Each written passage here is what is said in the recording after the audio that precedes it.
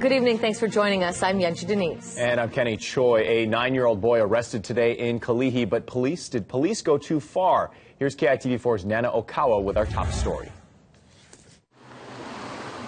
It was at this Chevron yesterday morning where police arrested a nine-year-old boy after they say he threatened a cashier with a knife. It's pretty crazy. I mean, for a nine-year-old to do something like that. It was all for some ice cream. Investigators say the boy opened the freezer but found it empty.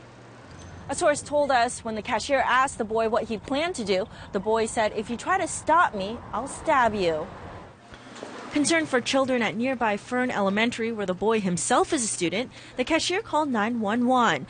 The little boy was arrested and is now being investigated for first degree robbery, a felony that carries a maximum penalty of up to 20 years in prison and a $50,000 fine.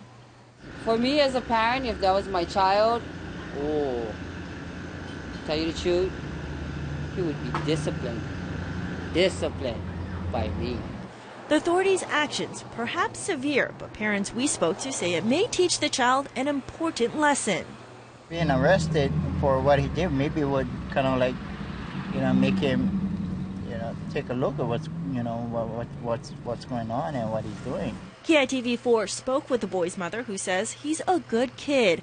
Tonight, he's been released as police continue their investigation. Nana Okawa, KITV4 News. Now, we've been told that there was surveillance cameras that captured the confrontation. Police have not yet released that video.